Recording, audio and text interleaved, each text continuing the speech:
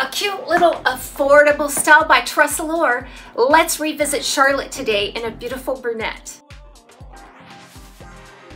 Charlotte is a cute little shag style cut with lots of volume and curl. It has some straight and some curly pieces that give it a lot of interest. And this is such an affordable style. Just a wonderful everyday wig style. I have reviewed this one several times in some other colors. Remember, you can find and purchase this one at Wig Studio One. If you go below the video and expand the description box, I'll attach a direct product link in there. If you click on the link, it'll take you out to the site. You can see all of the colors, pricing, and details. Add it to your cart and purchase if you like. Please reach out if you have any questions to support at wigstudio1.com. Some form of shag style cut is always in fashion. I think it's so flattering around the face and it's a very youthful look as well with all the layering.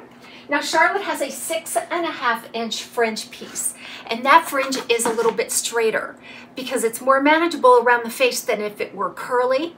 And the curl kind of starts at the crown and works its way through the back there's a six and a half inch crown and a three inch nape. And that nape is ample to cover up, I would guess, any natural hairline. And at just over two ounces, it's a really lightweight style featuring a machine made cap, open wefts throughout. There is some permatease on this style, as you would expect, mostly to sustain some of this bigger volume.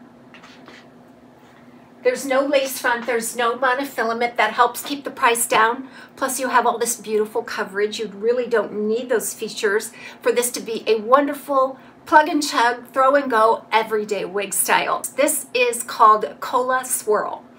And this is a combination of some medium to dark brown, and then there's some medium auburn, and then you're gonna find a kind of a honey blonde highlight in there as well.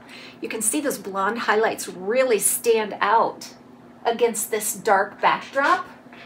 So this is a really very neutral color. Um, I find that the dark pieces of the brown are more, more cool. Uh, the auburn is going to warm it up a little bit and the honey is fairly neutral within itself. So even though there's some auburn in this, this is not your typical red. There's definitely no copper tones in it. So let's talk permatease for a moment. There is a lot of permatease on this style, all throughout it, on the top, sides, and back to sustain this soft, voluminous look. Um, however, if you wanted to tamp it down, I think you could definitely get a slimmer profile on this as well. Can part it wherever you like. So even though there's a six and a half inch piece off of the front, these are no more than four inches, these little bangs a little eyelash bang here. So what I've noticed with this Charlotte, as opposed to some that I have owned in the past, it's very large. I am definitely not going to be able to keep this one because it is so large. The crisscross, I crisscross the adjusters, it causes a little bit of gapping in the back. There's a ton of empty, loose, baggy cap up there. So if you have bio hair or if you have a larger circumference, I think this is a style that would suit you very well. The fiber is not heat friendly, it's just regular synthetic fiber. Each one is a very fine, baby fine, silky type fiber. So again, just adding to that lightweight feeling and appeal. So you can definitely get volume without weighing it down.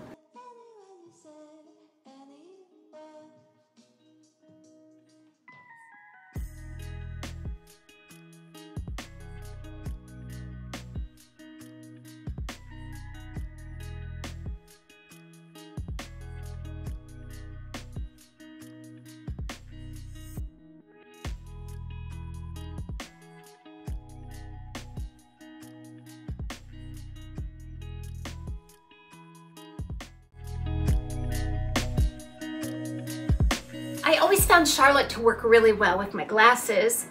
There's really no permatease right there above the ear tabs, so it works well. And it's a very light density right there too. Beautiful, safe, secure glasses.